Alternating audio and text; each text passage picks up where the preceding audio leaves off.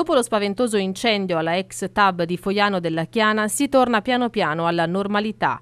Il sindaco Francesco Sonnati ha emesso l'ordinanza con la quale revoca il divieto di consumo di ortaggi e frutta nel raggio di un chilometro dalla fabbrica che prese fuoco lo scorso 5 aprile. Il divieto era stato emesso subito dopo lo spaventoso incendio che aveva sostanzialmente mandato in fumo box doccia, arredi per il bagno e quel che è peggio era crollata anche una parte del tetto in Eternit.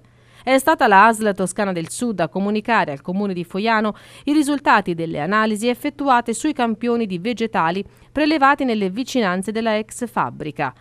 I valori riscontrati, leggiamo testualmente, per le diossine, gli idrocarburi policiclici aromatici, IPA, i policlorobifenili, BCC e le fibre di amianto sono inferiori ai limiti di riferimento relativi agli alimenti destinati ai lattanti e alla prima infanzia.